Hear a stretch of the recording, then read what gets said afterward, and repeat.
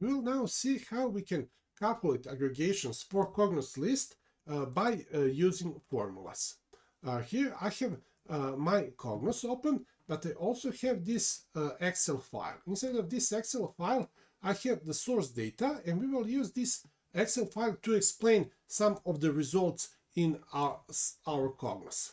Uh, here, inside of this um, Excel file, we can see that we have columns for years, for dates, for months. Uh, months is a number. Then working days are labeled with 1 for working days and with 0 for weekends. And uh, for in this last column for each month, we have the first date of that month. Now this uh, last column is uh, special because it is not a real column inside of our database, but this is calculated column. It is calculated inside of Cognos and we will see whether there are some differences for uh, such calculated columns. Now, inside of Cognos, I have uh, my uh, list. This list only has seven rows because all of the data inside of this list is uh, grouped. Below it, uh, we have our aggregations that are calculated by using formulas, but I also made that other kind of calculations here below. And this uh, other kind of calculations is uh, made by using options from this menu. And we will see that there are differences when we are using formulas and when we are using uh, these uh, options here. Now, I already calculated all of the aggregations for all of the columns, but I also made a copy of this uh, column here. And I will show you how to calculate all of these aggregations for this copy. I will first uh, select uh, this column here. I will go to this aggregation button and then to custom. We are using custom when we want to create aggregations by using formulas. In here, I will type function aggregate for this uh, column. And I want to show you that all of these functions are here inside of functions, inside the folder summary. So here we can find all of these uh, functions. So I will click on OK, and we would get our first result.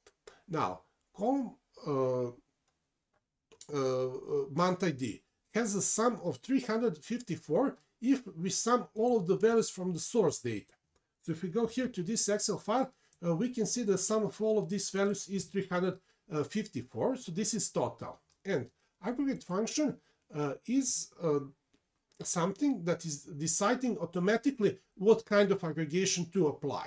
And it is the same with this option summary. If we are using uh, this menu here, here we have summary. So these two options are uh, deciding automatically what kind of aggregation to use. And this time, uh, aggregate function decided to use total.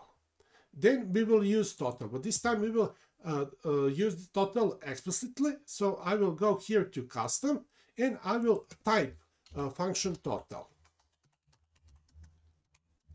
I will click on OK, and as expected, we would get 354. Then we will use count.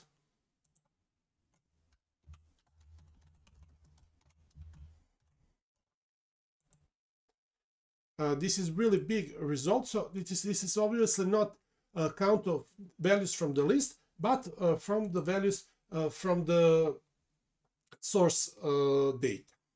Then we can uh, create count distinct formula. For that, we go here to custom. we will type count, open parenthesis, distinct, and then we will close parenthesis after our column. We click on OK, and Inside of this uh, column, we have only three values because we only have January, February, and March. So the value is 3. Then again, I will uh, go here to type my function. This time I will use function minimum. And the minimum value is, of course, 1. Then we will uh, calculate average. We go here, custom. We type function average. Okay, and result is 1.701. If we select this column here, uh, we can see here below that that is the average of the values from the source data.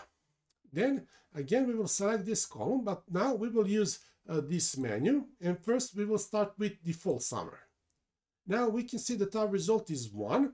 So that means the summary decided to uh, use minimum as default uh, aggregation. Then we will use total. total. Total is of course uh, 12 because when we are using uh, options from this menu, in that case, we're actually summing these values here. And total of these values is only 12. 12. Then we will use count.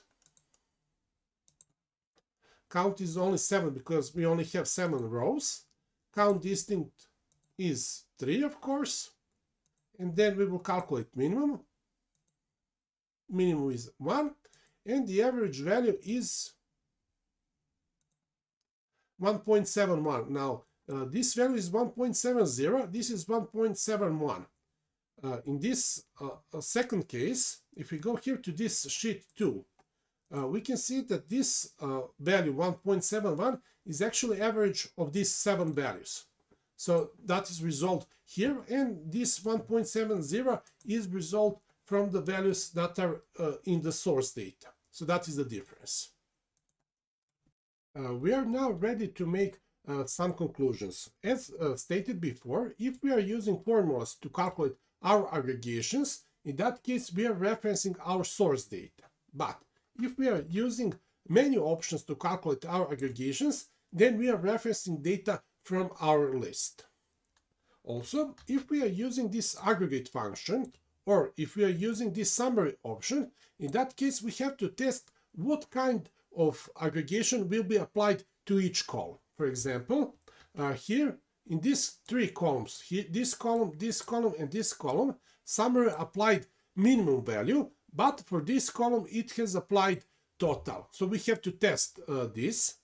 We can also easily notice that it is not possible uh, logically to um, apply some aggregations for each data type. For example, it is not possible to apply total or average to textual data and also for uh, dates. It is not possible to calculate total and averages, but what is possible is this. It is possible to calculate minimum of uh, textual data. In this case, we can assume that this textual data will be sorted in alphabetical order, uh, ascending order, and in that case, letter F will be the first one. So that is why minimum of this textual column will return February.